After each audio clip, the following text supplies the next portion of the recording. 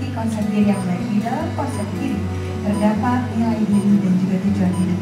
Sehingga apabila dia menghadapi segala rintangan dalam hidupnya